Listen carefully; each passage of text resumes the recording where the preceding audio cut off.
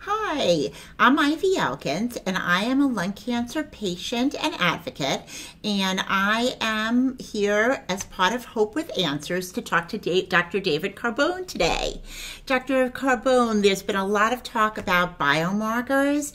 What can learn running a biomarker test tell my doctor about my treatment options? Biomarker testing is so important in, in lung cancer today. It can take a the stand, a patient who would otherwise get toxic chemotherapy and have an expected survival of less than a year, and uh, be able to let your doctor select uh, instead an oral non toxic therapy with median survivals me- measured in years. So it really can transform the type of uh, therapy that your doctor uh, selects for you and is so important to do. That's incredible. Now, one question that I have is I hear a lot of different terminology biomarker testing, genomic testing, molecular testing. Are those the same or different?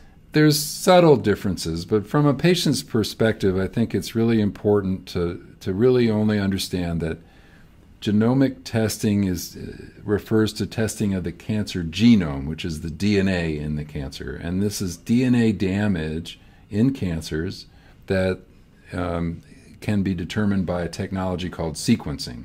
And there's different kinds of sequencing technologies. There's, but the most advanced type is is referred to as next generation sequencing, which can test for hundreds or thousands of genes in a single test, uh, and is probably the way the field is going. But other types of biomarkers are protein biomarkers, uh, which are not uh, measured by sequencing, but measured by other protein uh, measurement techniques, usually uh, one called immunohistochemistry. And, and it's important to have both types of markers in most patients today. In, Could you explain a little bit more about immu- immunohistochemistry? So, immunohistochemistry just involves means testing for the level of protein expression in a patient's tumor using a technique, a certain technique, and and it's the only point that I wanted to make is that it's not a sequencing test; it's a different type of test. Okay. But mm-hmm. immunohistochemistry is uh, most importantly used in a marker called PDL1. The gene testing, the sequencing testing, uh, currently, the recommendations from a group called the National Comprehensive Cancer Network, NCCN, is for testing for a, about eight different markers that can directly alter the type of therapy patients get. And uh, unfortunately, many patients only get testing for one or two of these markers. So if my doctor says that he or she has done biomarker testing, do I need to ask more information about what type of testing is being done? The uh, biomarker testing is done in most patients' tumors just to characterize what the type of cancer is.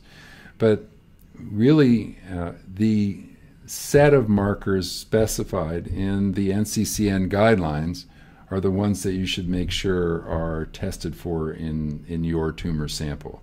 Sometimes certain technologies, certain tests, uh, don't test for all of them, and each one can make a major difference in the, the best treatment for your cancer. Okay, and if I had an old tumor um, sample that had been taken out a couple of years ago, can that still be tested? Usually the answer is yes, that most of the time, these abnormalities are present in the original tumor, even if it comes back after surgery or radiation or chemotherapy. The, these main mutations, called driver mutations, are typically there in the original block. There are some types of mutations that get acquired during therapy, but those um, are, are different, and most uh, of the important ones can be tested in the original sample. Thank you so much, Dr. Carbone. I think this has been really helpful, and You're thanks welcome. so much for joining us with Hope with Answers.